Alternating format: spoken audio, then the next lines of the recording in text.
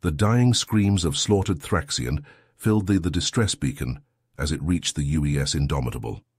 No one in the galaxy knew what to do against the relentless Voxari invasion, so the Thraxian called the humans. Captain James Hawkins received the desperate plea. The ruthless Voxari invaders had overwhelmed Thraxian defenses with superior tech and brutal tactics. They were exterminating and enslaving the Thraxian people. Approaching the besieged Thraxian homeworld, Hawkins saw the remains of the proud Thraxian fleet, now just shattered, lifeless hulks drifting in space. Voxari forces had already landed and swept across the planet, butchering civilians. Thraxian ambassador Kralos tearfully begged Hawkins to save his people from genocide. Hawkins and his veteran crew were the Thraxians' last hope. If the humans failed here, an entire species would be wiped out. Hawkins vowed to drive back the invaders or die trying. He had a daring plan to strike at the heart of the Voxari occupation and shatter their command structure, but it would be the hardest mission of his life. The fate of the Thraxian hung in the balance as the Indomitable prepared its desperate assault. Hawkins assembled a squad of his finest soldiers, encased in sleek power armor that augmented their strength and speed. Kralos joined as their guide, his four eyes blinking with determination. They crammed into a dropship that plummeted through the smoke-choked atmosphere of the Thraxian homeworld. Anti-aircraft fire streaked past the viewports. The ship barely avoided a missile before setting down in a crater half a click from the enemy command center. The strike team fanned out from the landing site, pulse rifles ready. They advanced cautiously over the rubble of a once great city, Broken spires and toppled monuments showed the ferocity of the Voxari assault. Suddenly plasma bolts sizzled through the air as a Voxari patrol spotted them. The hulking aliens fired from behind a collapsed wall. Hawkins and his team dove for cover. Light 'em up, Hawkins barked. The humans opened fire, their high-powered rifles punching holes clean through the Voxari's thick hides. But more hostiles poured in from all directions, the humans formed a perimeter, mowing down wave after wave. Spent ammo casings pinged off rubble. Ozone from seared flesh choked the air. Krelos proved surprisingly handy with a sidearm for a diplomat. He dropped a Voxari who got too close. We cannot delay, Captain. This way to the command center. They pushed through the ruined streets, dispatching Voxari fire teams with ruthless efficiency. Superior human tech and training made the difference against the invaders' numbers. What they found along the way sickened them. Piles of butchered Thraxian civilians, sobbing survivors being hauled off as slaves, Voxari death squads rampaging unchecked. Hawkins seethed with barely contained fury. He put a plasma bolt between the eyes of a Voxari brute, dragging a wailing Thraxian child. These bastards are gonna pay, he growled. The command center loomed ahead, a fortified pyramid bristling with gun emplacements. Getting in would be suicide. But Kralos had an idea. Captain, my intel report shows a vulnerable Voxari supply depot four clicks west, the ambassador said, pointing to a hollow map. If we destroy their fuel and ammo reserves, it would cripple their ability to wage war. Hawkins grinned savagely. I like the way you think. Let's give these alien fuckers something to really scream about. They diverted course, blasting their way through occupied territory. Panicked Voxari com chatter spiked as reports of the human assault spread. The invaders threw everything they had at them, but it wasn't enough. Power-armored human shock troops were an enemy they'd never faced before. The supply depot was a sprawling complex ringed with laser cannons. Voxari transports were loading up with ammo and reactor cores. Hawkins had his target, Hit 'em hard and fast. Catch the bastards with their pants down, he shouted over the com.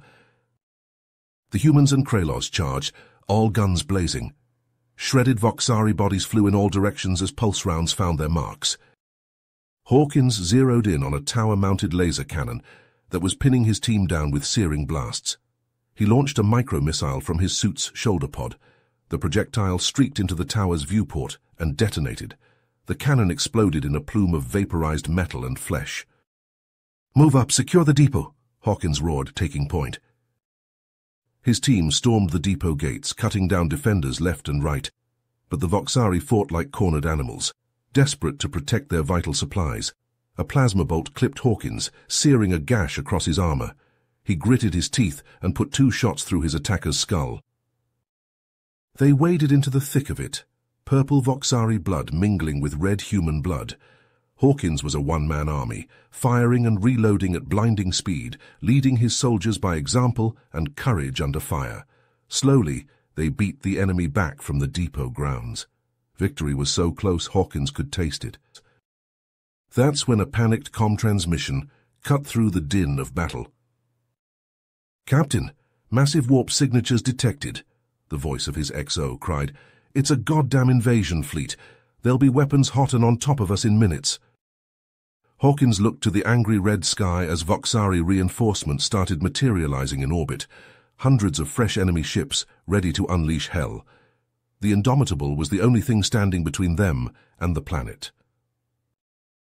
Take us right at them full combat speed, Hawkins ordered over the com.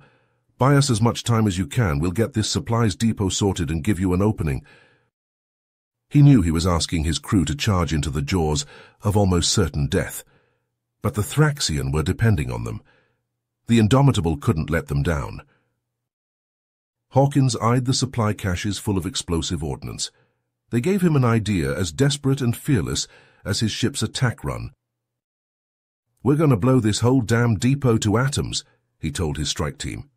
Grab what explosives you can carry, rig them to the ammo dumps and fuel stores. This place is going to light up the whole continent. Let's move like we've got a purpose. They hurried to plant as many deck charges as possible before the Voxari fleet arrived. No one knew if they would survive, but they were the only hope for the Thraxian people. They couldn't afford to fail now. High above the besieged Thraxian homeworld, the space battle raged with terrible fury.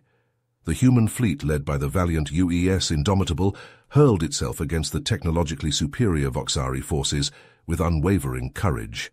Outnumbered and outgunned, the humans fought with the tenacity of warriors who knew the fate of an entire species rested on their actions. On the planet's surface, Hawkins and his strike team continued their desperate assault on the Voxari supply depot. Pulse rifles chattered, micro-missiles streaked through the air, and explosions rocked the ground as the humans pressed their attack. Voxari defenders fell in droves, unable to match the sheer ferocity of the human onslaught. But as they fought, a urgent message crackled through Hawkins's com unit. It was his XO aboard the Indomitable, her voice strained with barely controlled panic. Captain, the Indomitable is taking heavy damage. Shields are failing, hull breaches on multiple decks. We can't hold out much longer against these reinforcements. Hawkins gritted his teeth, his mind racing. The Indomitable was the only thing standing between the Voxari fleet and the planet. If it fell, the Thraxian were doomed. But he also knew that the success of the ground mission was crucial to breaking the invaders' hold on the planet. He made the hardest call of his life. Understood, Indomitable. You have to hold the line no matter the cost. We'll complete the mission down here and draw the bastard's attention away from you. But, sir, what about... You have your orders, Commander. Hawkins out. With a heavy heart, he cut the comlink, knowing he had just consigned his ship and crew to a desperate fight for survival. But there was no time for regrets. The mission had to come first. Listen up, he barked to his strike team. The Indomitable is in trouble, but we can best help her by raising hell down here. Double time it to that command center. They fought like demons, carving a path of destruction through the heart of the Voxari occupation. Power-armored boots tramped over the corpses of the enemy as they stormed the command pyramid. Withering plasma fire cut down Voxari defenders as they tried in vain to halt the human advance. At last, they breached the inner sanctum, a vast chamber pulsing with malevolent energy, but what they found inside defied belief. Arrayed before them were not just Voxari, but a ragtag assortment of a dozen alien species, Thraxian, Crete, Varunai, and others Hawkins recognized as victims of Voxari conquests, but instead of cowering captives, They stood as soldiers beside their masters, weapons trained on the humans. My God, Krelos breathed. The Voxari aren't just one race. They're a collective of enslaved species forced to fight for them. Hawkins snarled in disgust. Doesn't matter what they are, we're putting an end to their reign of terror here and now. With a battle cry, the humans charged, plunging into the midst of the enemy. It was a whirlwind of desperate close-quarters combat, a savage melee of flashing blades, hammering gun butts, and point-blank weapons fire. Hawkins was a machine of war, dealing death with every blow. His armor slick with the blood of a dozen races. At the center of it all stood a towering Voxari warlord, bellowing orders to his mind-shackled minions. Hawkins zeroed in on him, knowing this was the linchpin of the enemy forces. They met in a clash of titanic strength, human fury pitted against alien brutality. Hawkins ducked a swung plasma axe, feeling the heat of it singe his hair. He rammed his pulse rifle under the warlord's jaw and unloaded a burst of fire, point blank, blasting away scales, flesh, and bone. But the Voxari commander was monstrously tough. Hissing in pain, it wrapped its claws around Hawkins' throat, slamming him against a bulkhead. The world swam red, his vision tunneled. He could feel the alien's fetid breath on his face. No, it couldn't end like this. The Thraxian were depending on him. His crew was depending on him. With a last desperate burst of strength, Hawkins brought his armored knee up into the warlord's groin with a sickening crunch. The Voxari howled and loosened its grip. It was the opening Hawkins needed. He drove an armored fist into the alien's throat, caving in its windpipe. As it staggered back, he followed up with a micro-missile to the chest. The projectile detonated, blasting a gory hole straight through the warlord's torso the Voxari commander toppled, its puppet soldiers collapsing with it like marionettes with cut strings. Hawkins stood over his vanquished foe, battered and bloody, but unbowed. Captain, the Voxari forces are in disarray, Krelos shouted in amazement, monitoring com channels. When you killed the warlord, they lost cohesion. We did it. Hawkins allowed himself a grim smile as he surveyed the devastated command center littered with the bodies of enslaved species. They had struck a blow against the Voxari war machine this day, shattered the invaders' chain of command, proven that the alien scourge was not invincible. But the cost had been high, and the fight was far from over. He could only hope his brave crew still lived to see this victory. The Thraxian would live to see another day, but there were countless other worlds out there, groaning under the iron boot of Voxari occupation. He vowed that humanity would stand against the invaders, a shining beacon of defiance in the darkness.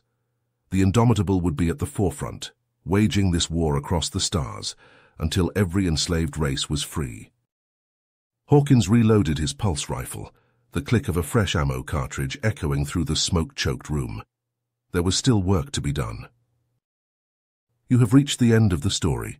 If you enjoyed this story and want to support me, please leave a like and subscribe to my channel. And for every comment that says, I liked the story, I will heart every single one of them. Thank you for your time.